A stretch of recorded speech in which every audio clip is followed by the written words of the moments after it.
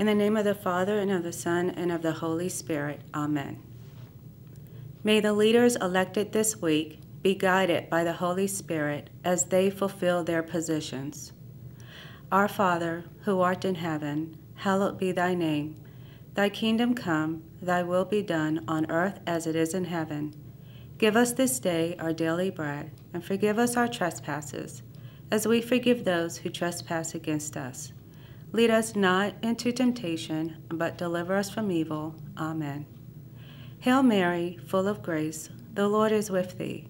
Blessed art thou amongst women, and blessed is the fruit of thy womb, Jesus. Holy Mary, Mother of God, pray for us sinners, now and at the hour of our death. Amen. Glory be to the Father, and to the Son, and to the Holy Spirit, as it was in the beginning, is now, and ever shall be, world without end. Amen. In the name of the Father, and of the Son, and of the Holy Spirit. Amen.